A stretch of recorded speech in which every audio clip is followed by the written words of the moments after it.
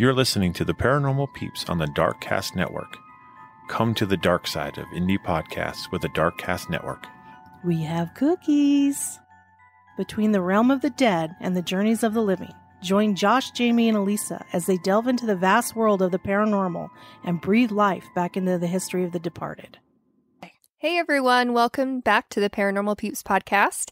And we are excited to have you guys back with us. Yes, welcome. Welcome back, everybody. And we are on episode two of telling our ghost stories from other people's experiences and kind of an add on of what we have just already previously read.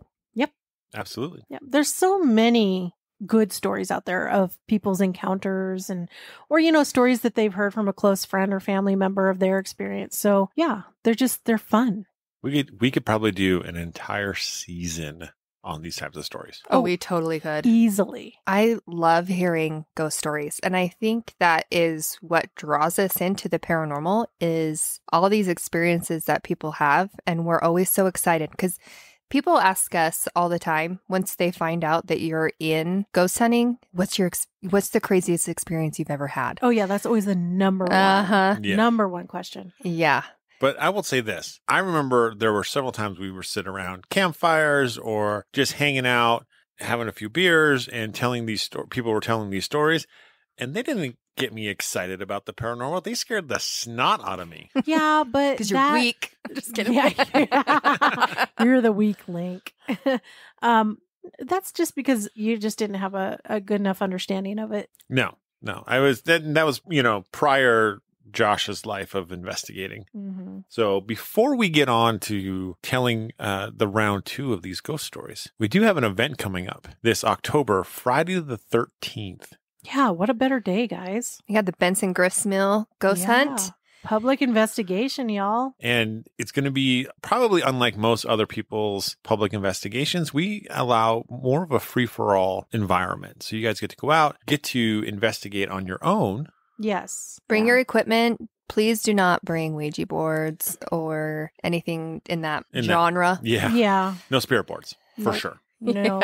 But yeah, come out, investigate, and then at the top of every hour, we'll do demos in certain different spots inside the inside of Benson Grist Mill. So we'll do dowsing rods and Estes method and any Portal. portal and any other things that Yeah. That The we can bring. Ovilus. Yeah. Mm-hmm. Yeah. So you can join in on those demonstrations and or not and go investigate yourself. Yeah. Exactly. Either way. Yeah, just uh it's also a costume contest this event uh since you know we will be in the month of Halloween and it is Friday the 13th. So come and dressed why not? And why not? Exactly. Come dressed in a great costume, guys. Um just make sure that you know that you bring tennis shoes, you know, proper footwear because you know the big mill you got some steep stairs um if you're wearing capes or masks or something uh, when you actually go to out to do your investigating uh, do not wear capes or masks anything that's a tripping hazard or um, hinders your eyesight Yeah. And there are goat heads, a lot of goat heads out there. So wear good shoes because you don't want to, yeah you don't want those in the bottom of your feet. That is No. going to yeah hurt. you don't want any you know heels on your boots and stuff like that you want a good pair of walking shoes Yep. for sure Well, it's going to be an exciting time. So it's going to be a lot of fun Get your tickets on Eventbrite. Yes. And we also have a, a vendor there. Uh, Lavinia's Eden's going to be there. So bring your monies. Um, she sells all sorts of things. She does beautiful uh, wire wrapping on stones and crystals. Um, she just has an amazing, uh, uh, amazing inventory Yes, she does. of, of really cool stuff. And um, since it's Halloween, she'll have Halloween themed things as well. Absolutely. So bring your money and we'll serve hot cocoa and apple cider, And some light refreshments. light refreshments. So everybody come out. Uh, tickets are selling fast. So uh, make sure you come go to Eventbrite, get your ticket, and we'll see you there. Yeah. Now on to our wonderful, spooky, maybe spooky ghost stories. A little bit of everything. Yes. So mine is a continuation of the book from the book Ghosts of Ogden, Brigham City, and Logan by Jennifer Jones. This is her accounts of when she's interviewing people and going to these places, these haunted places, and finds these stories. She said, I've never been told this story publicly before, but thought it would be a great one to include. It has happened to me shortly after I moved to Ogden. A few years ago, after going through a divorce, I decided to move to Ogden from a nearby town and needed to find a house to rent. Ogden is full of great old bungalows that have so much charm, and as someone who loves old houses, the creepier the better, I was so excited to find one of my own. I didn't take long. It didn't take long for me to find one that was close to the downtown area. My two children and I found a perfect house on Van Buren, a little more than a mile and a half from the Union Station. It was a small three bedroom, one bath brick bungalow with a fully furnished basement built in 1927. If you think about it, that's almost 100 years now. It's so close to 100 years. That's crazy. When I looked at the house before I signed the lease, I didn't get the strange static electric feel that some haunted locations give me or have any reason to suspect this house would be haunted. However, looking back and when I when I was saying goodbye to the previous tenants, I remember the lady telling me that she thought I would be happy here as the house had a good spirit. We moved into the house at the end of September and settled into our new routine fairly quickly. The first few weeks were uneventful, and I never got the sense that the house might be haunted. Shortly before Halloween, I asked my ex husband if he could come and stay with the kids as I wanted to go see the Rocky Horror Picture Show at Peery's Egyptian Theater with some friends. He agreed and stayed at the house until I returned around 11:30 p.m. and he didn't mention anything strange happening before he left that evening. A week or so later, my parents decided to come for a few days to visit. Because the house was so small, they slept on a pull-out sofa in the basement next to my daughter's room.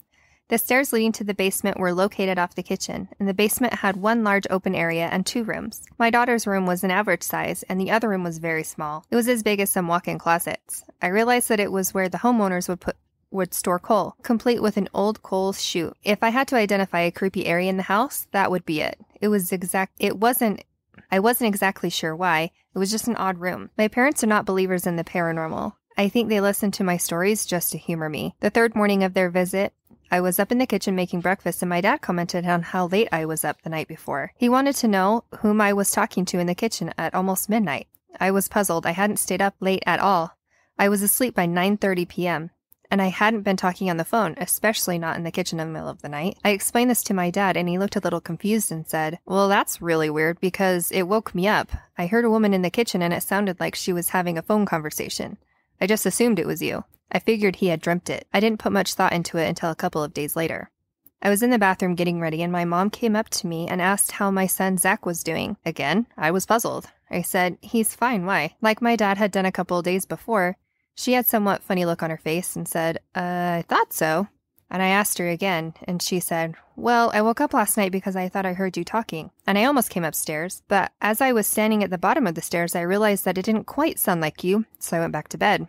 I said, You thought you heard me talking? She said, Yes, it sounded like you were talking to Zach, so I thought maybe he wasn't feeling well. By now, my curiosity was definitely piqued. I had two of the most skeptical non believers in ghosts tell me that they had heard a woman talking in my house in the middle of the night, and I knew it wasn't me. After they left, I had a conversation with my ex husband about how both of my parents told me that they had heard a woman talking in the middle of the night. He got kind of quiet for a bit and then said, Huh, that's really strange. He then told me that the night had the night he had come over to stay with the kids, he had fallen asleep on the sofa in the living room and was woken up by a woman talking. He said he lay there for a second trying to make out what she was saying, but he couldn't hear it well. And when he sat up to investigate, the talking stopped. He said the same thing as my parents did that it sounded like it was coming from the kitchen. I decided to do some research on the house. It was built November 1927 and I and purchased by Parley Smout. The elderly widow lived widower lived in the home with his two young adult daughters. Anne Frances and Etta Smout. In July 1928, Parley Smout died in the home from old age. Following that year, Etta married John MacDonald, and they lived in the house along with her sister Anne until their deaths. Anne died in the home in 1953, followed by John, in 1957 and Etta in 1975. Wow. That is. Well, to have three people say the same thing in a short amount of time, I mean, that's not a coincidence to me. No. Here's the part that I found kind of, kind of funny, though, is her mom's like, I went to come upstairs to see what was going on, but then I realized the voice really wasn't your voice. So, I went to bed. So I went back to bed. It's like, wouldn't you? I know. I thought that's strange too. like, there's a strange person in your house. You probably should go investigate, Not just go back to bed. right? Oh my. So I've got some stories from uh, a website called or a web post called 12 scary ghost stories to make Halloween 2022 your creepiest yet. So go, the first one goes, I've never lived in a haunted house, but my mother did as a teen, writes reddit.com user patented spacehook.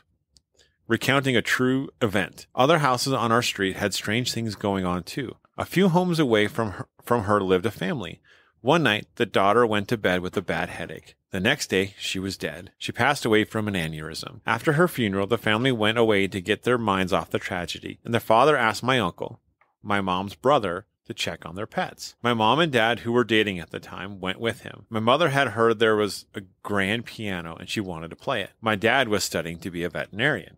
After entering the house, my uncle and my father headed to the basement to see the animals, and my mother went to the piano on, on the ground floor.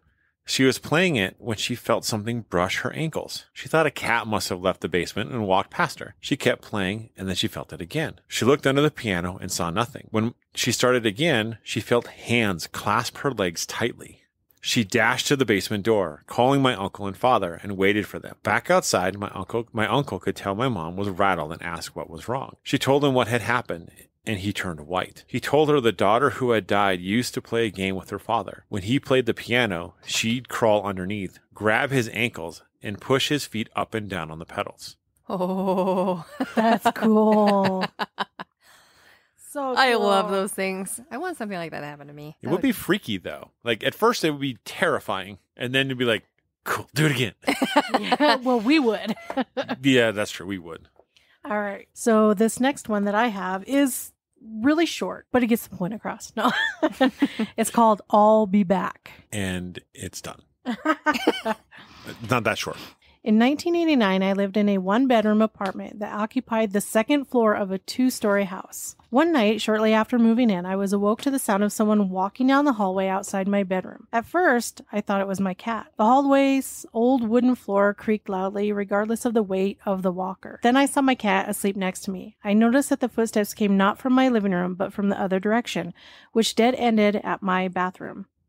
Before I could think more about it, a tall, slender man walked into the room. He paused in front of my bookcase and stared at me. He wore a blue windbreaker and a red baseball cap and looked to be in his early 60s. He just stared. I wondered whether this was only my imagination, but a quick glance at my cat revealed that he was staring at the visitor too. I turned my attention back to the man. Can I help you? I asked. The man shook his head. No, I was just looking around. I'll be back later to talk. Without another word, he walked out of the room and back down the hall. When the footsteps reached the bathroom, they just stopped. I pondered checking in the bathroom but decided against it. The next day, I called a friend who had lived in the apartment before I had moved in. I asked whether anything strange occurred while she had lived lived there. Blue windbreaker? Red baseball cap? she asked. I laughed. She said he came into the bedroom one night shortly after she moved in. He told her he would be back, but never returned. Yep. I'm moving out. But it, here's like, the why are you coming back though? What's like But- what what's what's going on? but here's the part that's still like it's flabbergasting, right? Here's a man in your house yes. and he walks away and it's like, I'll be back. And then do you get up and look to make sure he's gone? No, she decided against it and went back to bed. I mean, what is with these people? Okay, mine is uh, called The Negative. In 1966, my four sons and I moved to a new house in Seattle. The house sat high on the side of the hill and afforded us a beautiful view of Puget Sound. It had three stories, bedrooms on the second floor, and a living area on the main floor, and two bedrooms in the basement where three of my sons slept. One night, June 27th to be exact, I was asleep upstairs. My youngest son was asleep in the adjoining room, and at 12:20 a.m., I heard someone call me from the bottom of the stairs. I woke up, looked at the clock, and listened to the footsteps on the stairs. When I heard the footsteps, I got out of bed immediately because I thought one of the boys was sick and needed help. I quietly went down the steps to the main floor and found the door at the bottom of the stairs open. I was surprised to find the door open because I always made sure it was closed when I went to bed. I called to the boys but got no answer, but I was still convinced I had heard one of my sons. I went through the kitchen to the basement, quietly asking the boys what was wrong. I found them all asleep. I couldn't figure this out. I went back upstairs and walked through the house to the living room.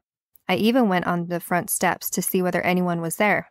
Nobody. I wasn't frightened, but curious at what had awakened me. As I looked out the window, I had a strange sense of peacefulness. I remember thinking to myself that whoever it was who had called me was satisfied that I had heard the call. The next morning, I telephoned a close friend of mine who was a psychic and told her of my late night experience. She didn't say anything for a while, and then she started talking very slowly, asking me whether there was an attic in the house. I told her that there wasn't, but that there was a storage area upstairs under the eaves. She asked me whether it was finished, if it was finished off inside. I told her it wasn't. She told me to go up and look by a rafter that came down to the floor. There, I would find a picture. I told her I would call her back after I made my search. I went up to the storage area with a flashlight. I heard, ne- I searched near the rafters, as she had instructed, and I was surprised to find a negative stuck to the base of one of them. I called her right back and told her what I had found. She said that she had a strong feeling that there was a woman in the picture, and that she was the one who had awakened me. There was indeed a woman in the picture with two small children standing by either of her side. By the woman's clothes and hairstyle, I knew that the picture had been taken in the 1940s. My friend suggested that I find out more about the previous owners. I had the negative printed and then took it to the next door neighbors who had lived there many years. The neighbors told me that the original owners of my house were an Italian couple with two children, a small boy and girl. The children grew up there, and the daughter married a merchant seaman. When her husband was at sea, she and her two children would stay with her parents. Always she would stand at the window and watch the ships come and go, hoping to see her husband's ship returning. On June 27th, during the early part of World War II, she was looking out the window when she saw a man coming up the long steps to the house. When she answered the bell, the man handed her a telegram, which told her that her husband's ship had been torpedoed and that all hands on board had been lost. My ghost must have been the vigilant spirit of the young widow. Oh, so sad. So sad. sad. I wonder if the hill that she's that she's referring to is Queen Anne Hill Hmm. I wondered that too. because that is one one of the oldest sections still standing in Seattle and it overlooks Puget Sound. It's absolutely gorgeous up there. Yeah, it is. There's in a couple homes that were built at the turn of the century that are up there. Cool. Yeah. Although beautiful homes, they're at the time that we were there, which was eight years ago, or no, 10 years ago, they were million dollar homes. Yeah. Can you imagine what they are now? Millions. but the crazy part is all these gorgeous, beautiful, multi million dollar homes, right? And the dri- and the roads were wide enough for one car. Yep, that's So- it. So if another car was coming down the same road, somebody had to pull into a driveway and let the other car through. Oh, wow. Yeah, no thanks. Nope. Couldn't do it. Okay, so mine is called The Phantom Patient. The ambulance company that I used to work for had a haunted ambulance, Rig 12, recounts Reddit.com user Zerbo. A lot of EMTs had stories about it, but I never put much stock in paranormal stuff. That is until I had my own experience with Rig 12. My partner and I, my partner and I were working in a rural community at 3 a.m. and it was pitch dark and completely quiet. We were both dosing. I was in the driver's seat and she was in the passenger seat. I woke up to a muffled voice but I thought my partner was talking. I told her I was trying to sleep and closed my eyes. I distinctly heard a male voice say, Oh my God, I am, I am dying, followed by a few seconds of heavy breathing. My partner and I sat up straight and looked back into the patient compartment where it sounded like the voice had come from. Things were quiet for a couple of seconds. Then we heard the click of an oxygen bottle regulator and a hiss as if it was leaking. I turned on the lights and we ran out of the rig. I thought a transient might have climbed in, climbed in while we were asleep, so we opened the rear doors. No, no one was there. I checked the oxygen bottles. Neither was opened. We didn't sleep much after that. I wouldn't either.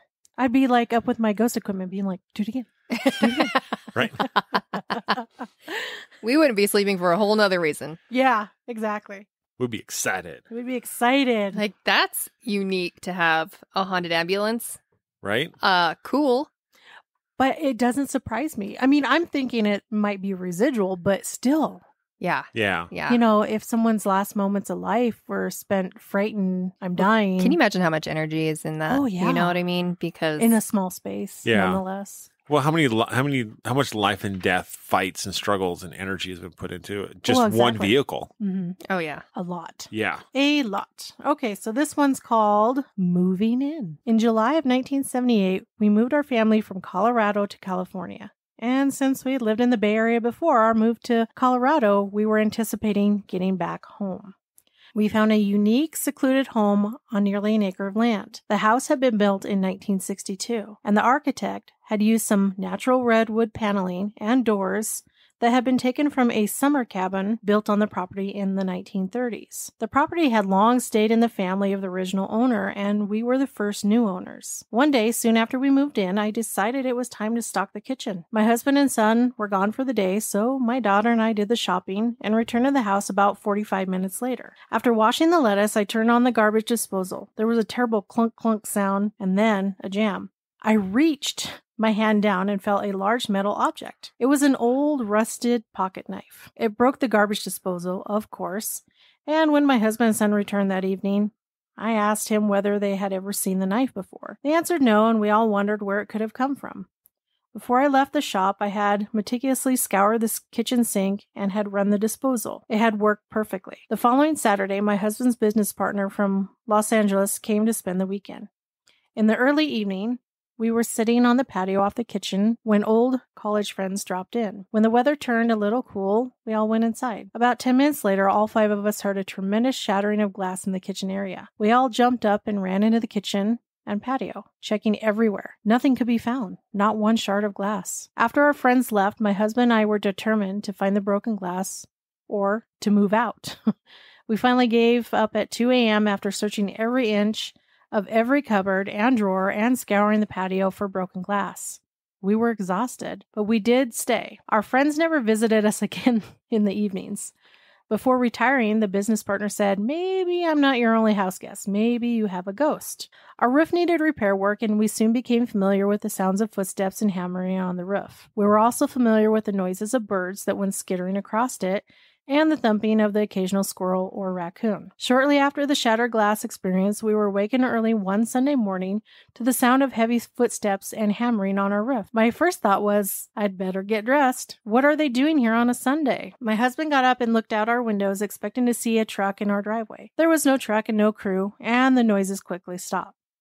Once again, we seriously thought of getting rid of this house and its resident ghost. But I had made arrangements to have new carpeting installed in just a few days, and we are expecting company from Colorado.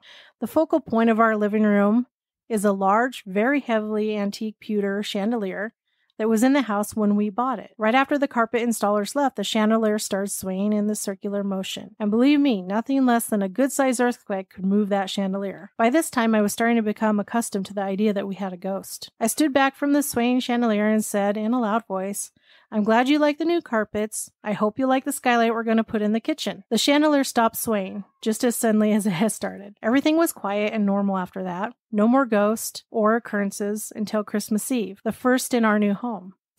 It was close to 9 p.m. Our family gathered around the tree and fireplace, listening to Christmas carols, each of us trying to decide which gift we would choose to open this night. We weren't expecting company, and it was a long uh, walk up our private drive to the front door. We all heard the footsteps approaching our front door, and our two dogs went crazy, barking and jumping at the door. We were surprised that someone would come unannounced on Christmas Eve. We waited for the doorbell to ring. It didn't. We got the dogs under control and then opened the door, fully expecting someone to be standing there. There wasn't anyone visible, and my husband and son went way down the road looking for whoever it was who had come to our door.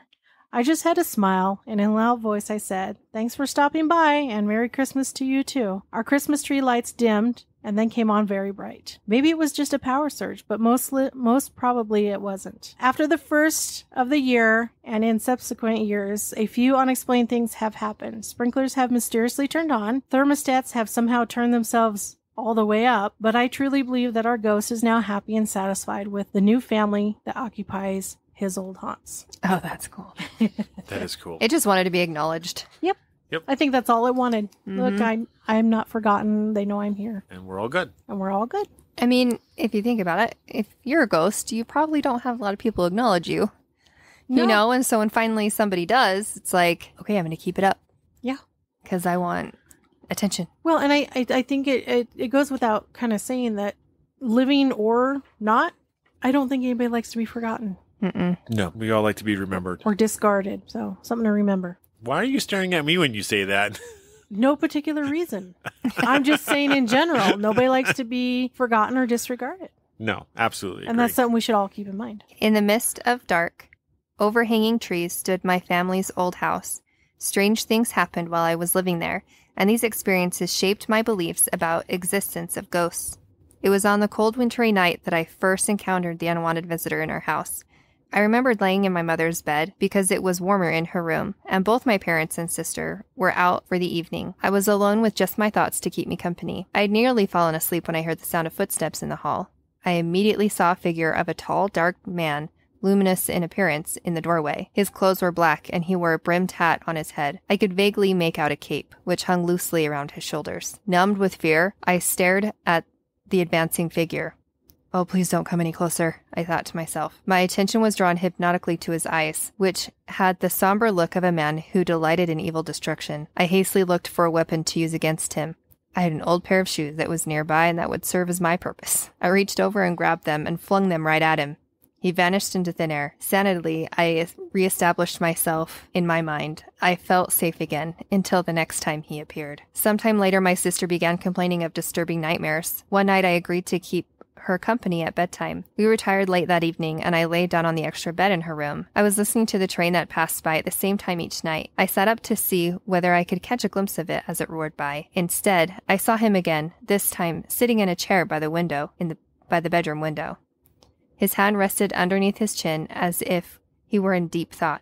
His face turned away from me. I wondered to myself whether he was also waiting for the train to pass by. Would he be able to hear it? I was curious about what he was thinking, but I was careful not to disturb him. But then, with a perfectly involuntary, involuntary movement, I leaned toward him. My curiosity had engulfed my better sense of judgment. As I moved, he suddenly jerked his head around toward me, and for just a moment I looked into a face that looked just like that of a corpse. Impulsively, I turned away in disgust. When I looked back, he was gone. The third encounter was of a more violent nature. It was during the summer, and we all liked to keep our windows open to keep cool breezes that came up in the night. My parents and I were awakened from the sleep that night by blood curdling screams. We all rose quickly from our beds and ran down the hallway to where the screams were coming from my sister's room. We opened her bedroom door and found her clutching her throat. After we calmed her, she began to tell us what had happened. A tall man, she said, with dark eyes and old fashioned clothes, was trying to strangle me. Her screams, she felt, had scared him away. She had also been very level headed with not much of an imagination.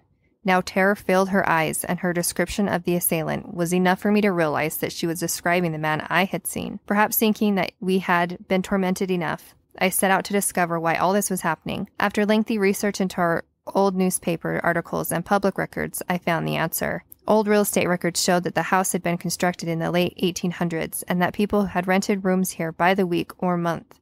Most didn't stay very long. The house was sold to my parents in the early 1940s and later made it into a one family home. After several late evenings at, at the library, I also came across an old newspaper article that revealed a significant fact. Printed in a column relating local news was the story of a man who had committed suicide in his room in the boarding house. It didn't give much detail, only that only his name and address. It didn't surprise me to see that the address was the same as that of our house. I discontinued research after that. I guess I just don't want to know any more about it. I moved out of my parents' home shortly thereafter. I know he's still there. Crazy. Creepy. Little spooky. But you notice she fought back. Like she threw a shoe at it. I know. And honestly, that itself is actually quite impressive because most of the time people just freeze and they like don't move or when it's like coming through a doorway and there's like no escape. The only way to escape is if you go through them. Yeah. you know? So I think honestly that that was impressive. But I mean, I've seen a spirit, an entity like that in a hotel room, almost Really? almost just like that. Crazy. But this man had to have been like eight, nine feet tall that I saw. jeez. Probably eight feet, but it was he was really broad, like really wide. But yeah, he looked just like that. Intimidating. Mhm. Super scary. Yeah, a little bit. Because we're going to go a little bit lighter. This one's called The Impish Ghost. My neighbor D- Diane and I had a playful poltergeist for years, and we called it Billy. So begins Reddit.com user Abby's alibi in their real life ghost story. I'd come home and find something put in a weird place milk in a cupboard, toilet paper in the fridge, laundry, laundry detergent in the bathtub. Diane once asked, called to ask if Billy had been around because she couldn't find a gallon of milk. We finally found it outside on her back steps. And sugar. Darn sugar. Every morning, my sugar bowl was empty. When I had had enough, I would point to Diane's home and yell, Go see Diane. Within five minutes, I'd get a call from her. Thanks a lot, she'd say.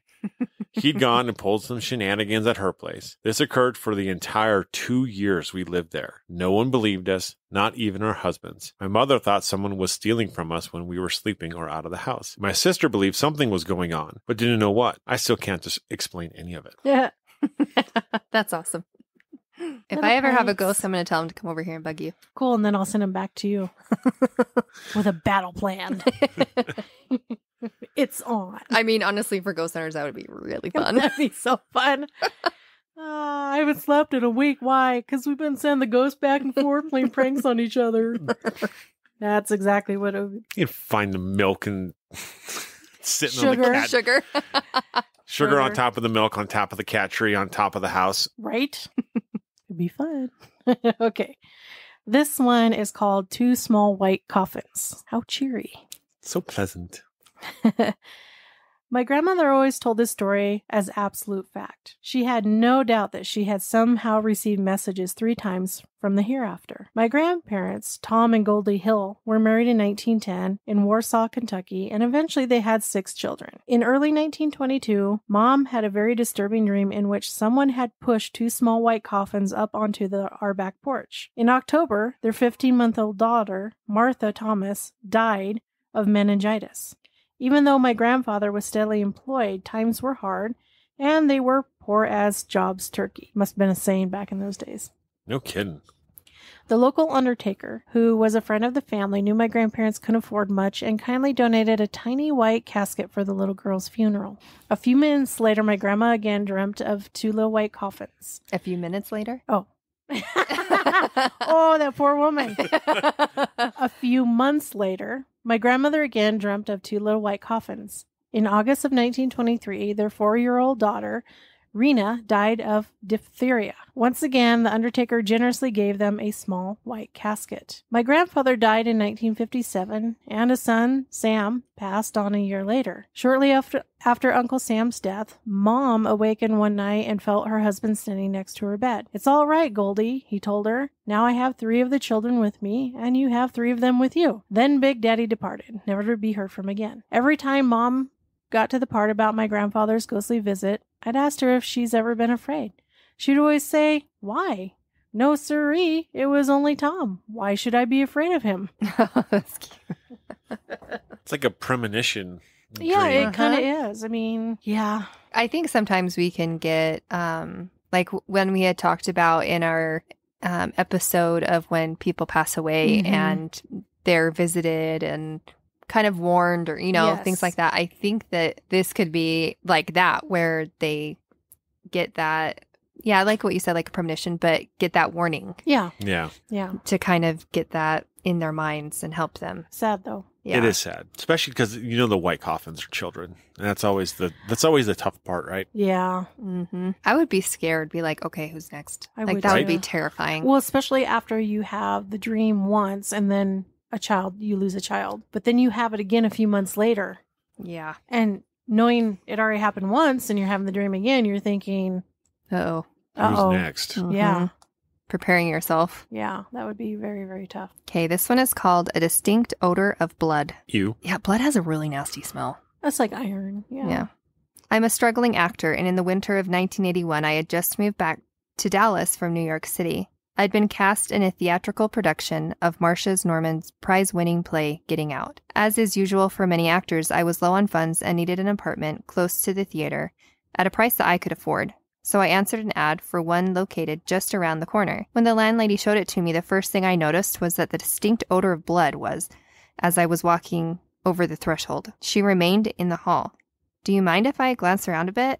I asked her, wondering why she was just standing there. Of course, take all the time that you need, she said before making a beeline for her office. It was a simple two room flat, heated by a gas wall heater in the living room. I stepped over to test it, and at about two feet away from it, I again noticed the odor of blood. I hadn't really paid attention to it before because it had passed so quickly, but but this time I was standing still, and the sensation was very real. I looked, but there was no stains on the apparent new carpet. The smell disappeared when I moved on. In all other respects, the place the place was just what I wanted.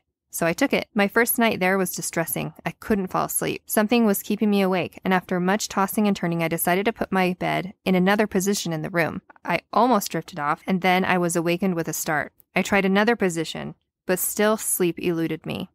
Four times I moved from the bed, and four times I was suddenly awakened with no apparent reason. All the time this was going on, I kept glancing around the room to see whether there was something about the place I was missing. I could see nothing out of the ordinary. Because the temperatures in Dallas that winter were usu- unusually cold, I finally decided to move into the living room where it was warmer. As I passed the heater, I picked up the odor of blood again. What had happened here? A bloody murder? And why were there only two places, the entrance and near the heater, where I could smell the blood? Thinking back on her actions, I concluded that the, my landlady knew something, but she wasn't about to tell a new renter that this apartment might be haunted. Could it be? No, there was no such thing as ghosts, and with that I fell asleep. A few weeks later, after a cast party, I was settled in for a good sleep. The heater was on low, and I could hear a brisk wind outside, and there was a t- a talk of snow before dawn. I remember drifting off thinking about the snow. And then suddenly I was wide awake.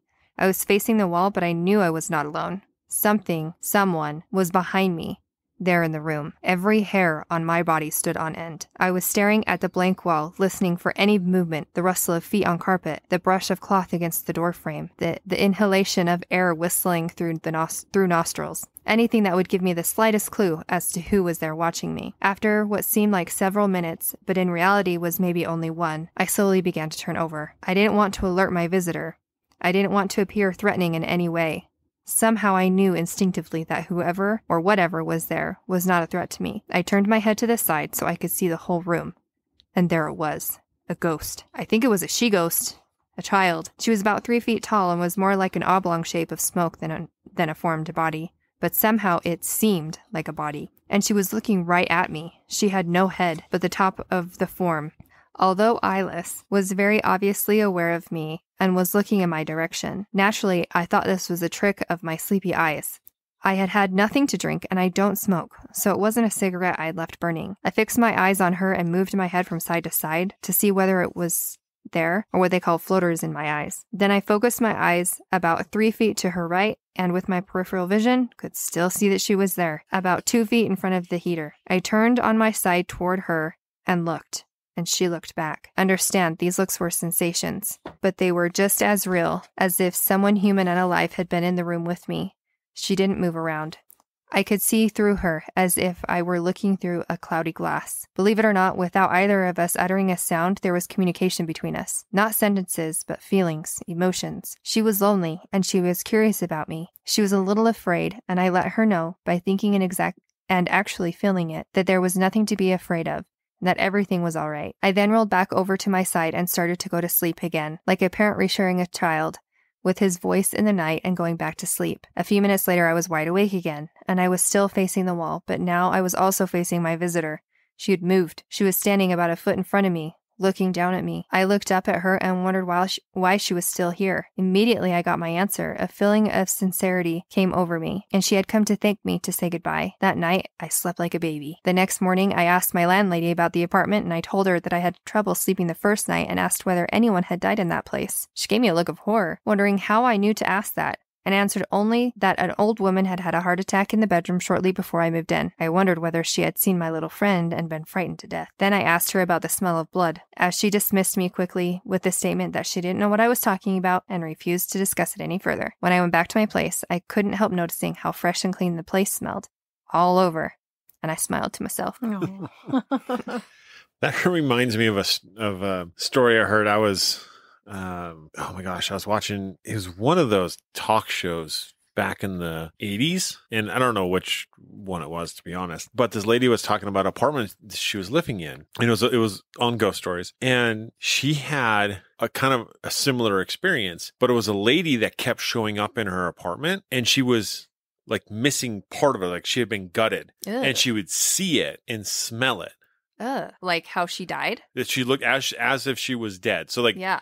Just like the whole Ghostbusters, like when the ghosts came Yeah. out and they looked like they as they were as, they died. Yeah. That's what was she was seeing constantly, and she's like, "Nope, Uh uh I mean, for me, it's a whole nother level of haunting. yeah."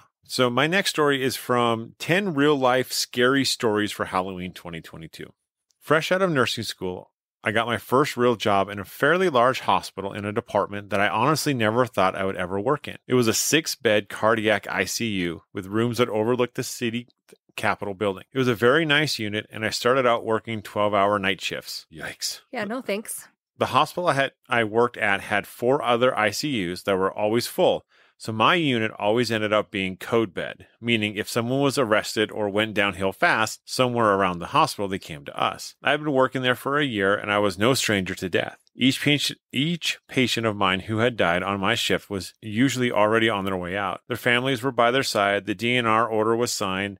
The funeral home was already picked picked out. It was rarely ever a surprise. In fact, the only time I was ever needed to do CPR on my shift it wasn't even in my department. So I went on a nice long two week vacation, got engaged, and had a beautiful tan. On my first night back, I received a report from the from the day charge nurse. She said she was off for a few days and suggested to remind the next day charge nurse that the priest was coming in in the morning to bless room 4. I thought she was kidding at first, but she was serious. Apparently, while I was on vacation, every patient who was admitted to that room had died. But this came as no shock to me. People died often in our in our department. And it being a very religious institution, having a chaplain for almost every department, I just shook it off. Then she said that room four was empty and that it would serve as a code bed for the night. Around 2 a.m., I got a call saying that they have someone to fill our open bed. The ICU downstairs was now going to be a code bed. So we're getting our, holy cow, hard. Around 2 a.m., I got a call saying that they have someone to fill our open bed. The ICU downstairs was now going to be code bed, so we were getting your run of the mill chest pain. I took a look in the morning, kind of patient, nothing to get excited about. We get the patient admitted and all settled in room four. He was a gentleman about 50 or so years old, very pleasant. His wife was with him and she looked dead on her feet. I got her some warm blankets and took her to our waiting room that had cots so she could get some rest. Around 3:30 I was watching monitors and the cameras in each room. All the patients were fast asleep.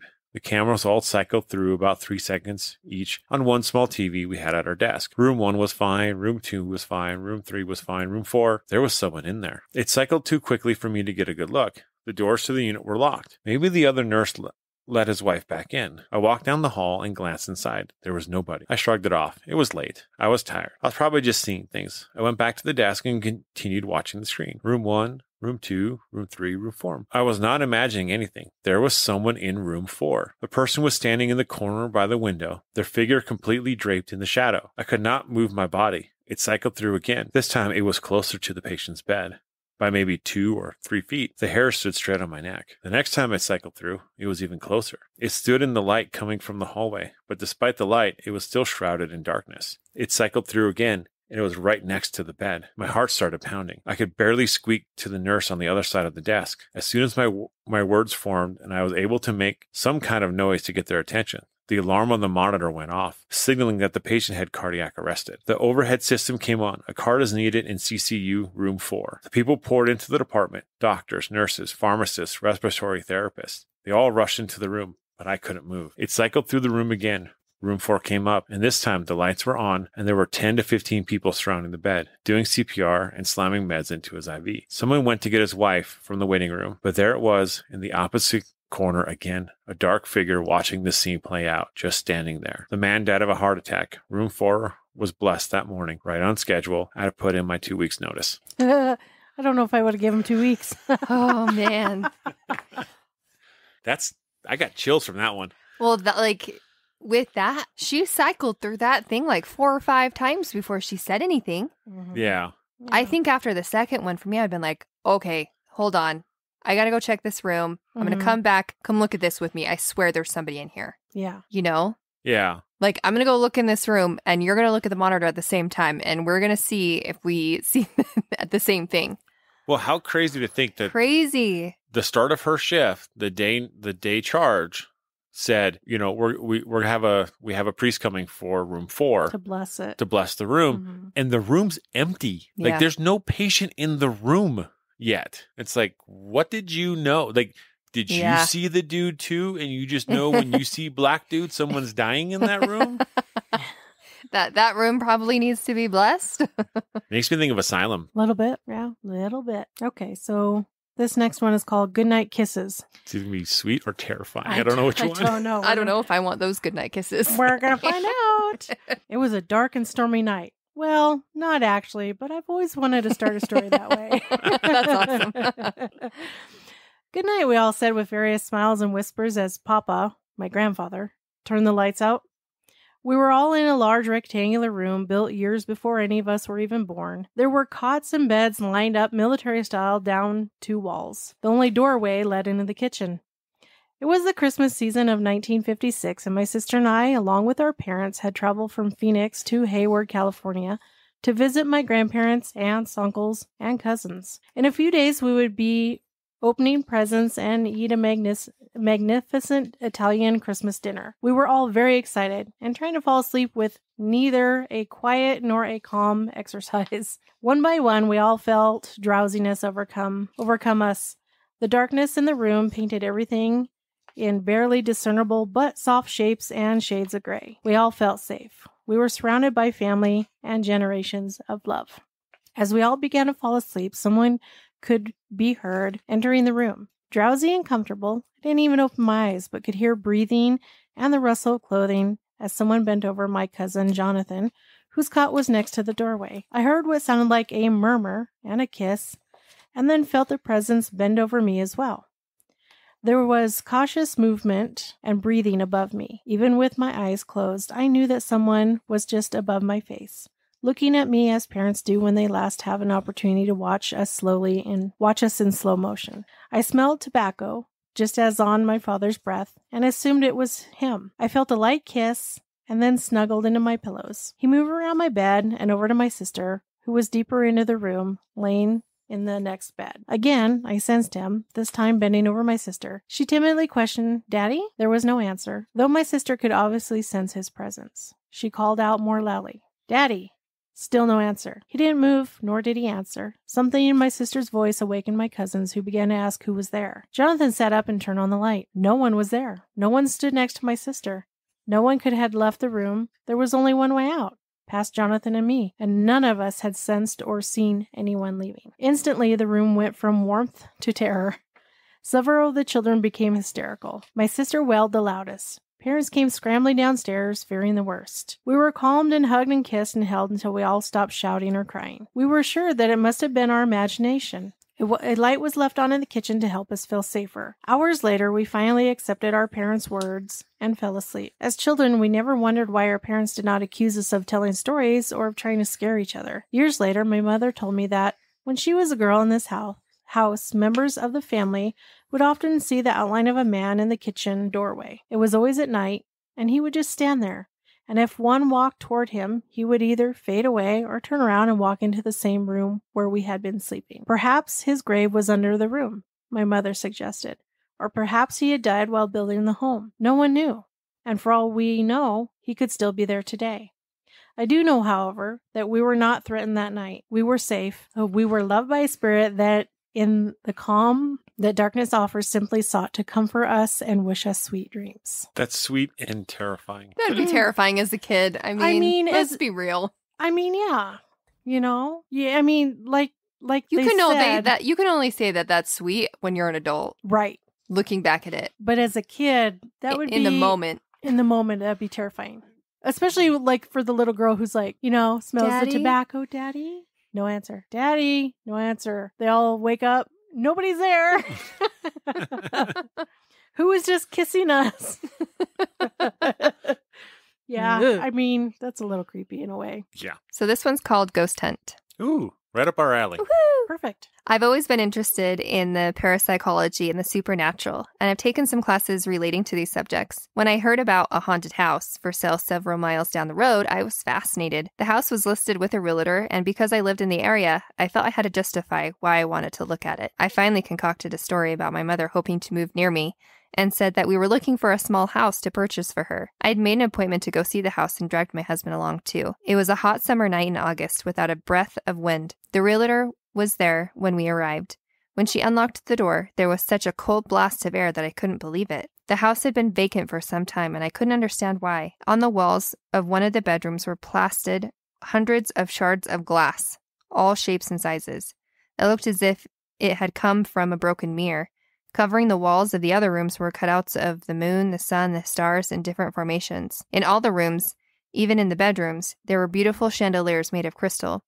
Although they were dusty and dirty, they were obviously beautiful. I asked the realtor about the bizarre decorations, and she said rumor had it that gypsies had lived there and that one had been murdered there. When we said our goodbyes and, after the real- realtor left, returned to the house. I was it was almost dusk at the time, and although we could not get into the house, we walked into the backyard. There was a small fountain there, with benches on either side, and several trees and bushes hanging in it, and several trees and bushes overhanging it. I sat down on the bench while my husband walked around. Suddenly I felt a cold blast of air pass over me. I started to talk, as though there was someone there, saying, I would like to help you if you let me. Is there anything I can do? I talked quietly for several minutes and was very intent on what I was doing. Suddenly, I heard my husband whisper, Look at that! When I raised my eyes, I saw a small whirlwind kicking up the dirt along one of the trees. Bear in mind that up until that moment, there had been no breeze at all. I kept talking, saying things like, I care about you. How can I help? Are you lost? You can leave if you want to, but you are safe here. Slowly, the whirlwind moved up into the air and around my head several times. I could feel the strong breeze it created. My hair was blowing out from my head as though I were in the middle of a, a windstorm. When it moved away into into a tree and stopped. Not a leaf rustled or moved anywhere. My heart was pounding and my husband was ready to drag me out of there. I sat very still and then got up and walked around the area for a few more minutes. I was it was getting dark quickly by then. I began to be uneasy, but I wanted to try one more time, so I sat down again and began to say the same things as before. I also said, it's okay if you want to go now. There is no reason for you to stay. You can be happy. As I was talking, the whirlwind suddenly came out from another tree and stopped right over my head. It hovered there for a moment and then began to descend. I sat very still. Suddenly, I experienced what felt like a million little feathers softly touching my face. It was almost like a gentle, gentle little kisses. Just as quickly as it began, it stopped, and the whirlwind moved straight up from my head and disappeared. It was thought it was as though it had never been there. Needless to say, we hastily left the yard. When we got home, my husband said, If I hadn't been there and seen that, I would never have believed it. Soon after, the for sale sign was taken down and a family moved in. I guess the spirit found its way back. I hope I helped. Oh, that's sweet though. That'd be crazy too. It would be. Your hair blown every We're- which way. And your husband just watching it like, what the heck is happening? this is supposed to be in a creepy movie. And what do you think your husband would say? Yeah, It's just the wind. that was in unison. we know him ve- very well. So my last story is from 11 real life horror stories, true horror stories reported in the news. Ooh. Ooh, cool. So this this came from KPRC2 Houston News and it's entitled The Haunted Doll, Oh, who doesn't like a good haunted doll? right? Yeah, these are like you think of haunted dolls like those old Victorian creepy like weird dolls. Oh, I've held a haunted doll that was in a box and it thumped in the box. Was that Popo the clown? Popo the clown? The little clown doll From uh that Jamie Lynn Darling had in a box? Yeah. yeah, Yeah. It was like rolling around in the box. Yeah. And then Alan held it and it stopped. of course. It's like he's not going to believe even if I do it, so why bother? even if I were to pop out of the lid. Alan! and yell out. Hello. Yeah. Well, uh, that's a pretty cool trick you got going there. Animated doll. When you think of haunted dolls, it's likely the creepy, old Victorian looking porcelain kind that springs to mind, none of which you'd probably have laying around. Still, don't get too comfortable around any kids' toys too soon, though. A Disney's Frozen Elsa doll that was gifted for Christmas What? in Elsa? 2013. Yeah. In the Houston area, made headlines earlier this year when it seemingly became haunted. Let it go. Let it go. no, exactly. So the doll recited phrases from the movie Frozen and sang "Let It Go" when Oh, a, shut up. when a button on its necklace was pressed. Okay, fair. Okay. For two years, it did that in English.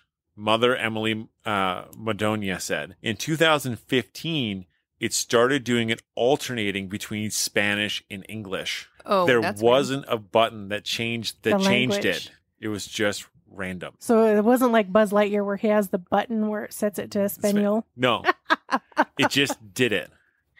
Oh, geez. The family has owned the doll for more than six years and never changed its batteries. Wow. Uh, whoa, those are pretty good batteries. Right? The mother says the doll would randomly begin to speak and sing even if it was switched off. Let it go. Let it go. Can you imagine like Burn it. you- you're like you're like sleeping in bed at night and it's like let it go. You're like Yep. So the family decided to throw the creepy doll out in December of 2019. Weeks later, they found it inside a bench in their living room. Oh no no no no no. The kids insisted they didn't put it in there, and I believe them because they wouldn't have dug through the garbage outside. Madonia told C- CPR C2 News. At that point, Elsa ceased to sing the English rendition of Let It Go altogether, speaking only Spanish when pressed. The family then double bagged the bizarre doll and placed it at the bottom of their garbage, which was taken out on garbage day. They went on a trip shortly after, but when they returned, Elsa too had come back Oh no. and was waiting in their backyard of their home. Oh no. This time, the family mailed Elsa to a family friend in Minnesota who taped the haunted doll to the front bumper of his truck. this just gets better. It doesn't seem to have made its way back to Houston yet, as per Madonia's la- latest February Facebook update on the creepy doll. Oh my gosh. That is the best story of a haunted doll I've That's ever good. heard. Strapped it to the truck. Yeah, but imagine you double bag it, it goes into the truck the next day. Yep. You go on vacation and it's sitting on your back deck. No thanks. Nope. Devil's in that doll. Yeah. right. Reminds me of the Bop It. Oh yeah, the bop it. Oh yeah, that. Yeah. She's like, what? yeah, you missed that one. That Yep. was pretty good. No, I will not turn off. I'm not going to turn off. That's what it said. I was like, oh, well, really? Oh. yeah, that was good. No, that was a good one to end it on. All right. That was a great one. Uh, yeah. Not going to top that. All right, everybody. So, as per our recent episodes, we've got cookie of the episode. yes. And honestly, this one was an absolute winner. It was What, super tasty, guys. what was it, Jamie? It was a homemade version of the Little Debbie oatmeal cream pie. But so much better. Oh yeah. Once you have it, I think homemade. I don't know how you could go buy a box of Little Debbie's again unless you are desperate and lazy and don't want to make this.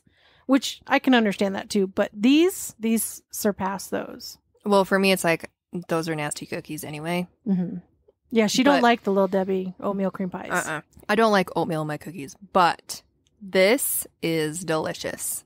Yeah, so that's saying something if she likes them. Right? If I they got like it, then you'll like it. yeah, I think the, the the neatest part is like on the li- on the little Debbie ones, it's a super sweet. Like the whole thing is just super sweet. Well, of course. But it doesn't like the cr- the cream in the middle doesn't have a lot of flavor. It's just like sugar. Yeah, well, it's a vanilla flavor, Right, but on this one, it's a vanilla flavor. Like you can really taste the vanilla, which Yeah. which which makes it really good. Yeah. So we'll post the recipe uh, link to this as well, which is also on Pinterest. But um, if you make these cookies, I highly recommend that you make your own brown sugar. Super easy. Super easy to do. Um, and yeah, make your own brown sugar when you make these because this is what's going to give them that deep, rich flavor and the softness and the chewiness, just like a little Debbie one. Yeah, and cut the the sugar in half for the filling.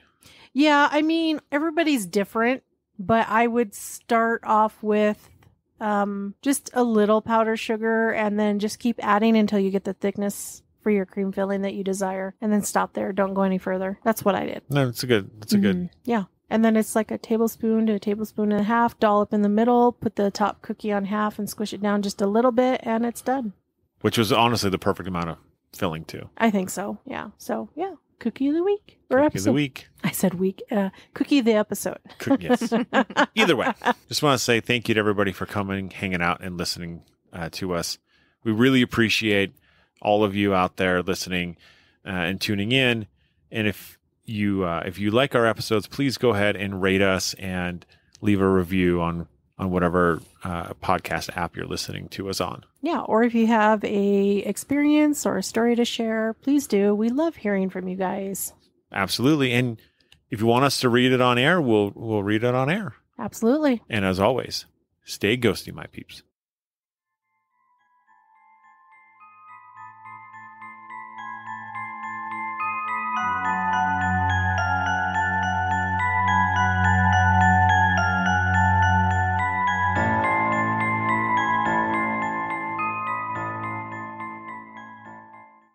I had two of the most skeptical, skeptical. I'm so skeptical. I'm so skeptical. Skeptical. Skeptical. Skeptical. Skeptical. Skeptical. Skeptical. Okay. So in 1989, I lived in a one bedroom apartment that occupied the second floor of a 20, sorry, 20 story house. wow. Wow. It's called a skyscraper, dear. They own the whole New York skyscraper. That's awesome. In the suburbs. Yeah. In 1966, my four sons and I moved to a new house in Seattle. The house sat high on, on the side of the hill and afforded us a beautiful view of Puget Sound. It had three stories. Hold on. Sorry. Wait, wait, wait, wait. Puget. Puget. Puget. Puget Sound. Puget. Pu- Puget. You said Puget. Puget. It's Puget. Puget. Okay, we're starting over. Puget. Puget. Puget Nugget. Okay. It's, it's, it's pronounced it's pronounced Puget. No. the bouquet visits. it's bouquet. So what is it again? Puget. Puget. Puget Sound. Puget. Puget. Puget. Okay, starting all over. Thank you for listening to the Paranormal Peeps podcast. You can find us on social media at Twitter at CPR Paranormal, on Facebook at Paranormal Peeps Podcast and Coldspot Paranormal Research. And you can find us on Instagram at coldspot underscore paranormal underscore research.